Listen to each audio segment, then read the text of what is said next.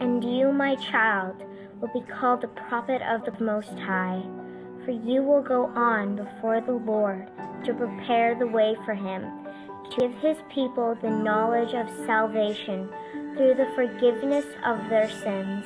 because of the tender mercy of our God, by which the rising sun will come to us from heaven to shine on those living in darkness and in the shadow of death, to guide our feet into the path of peace. Luke 1 76 to 79.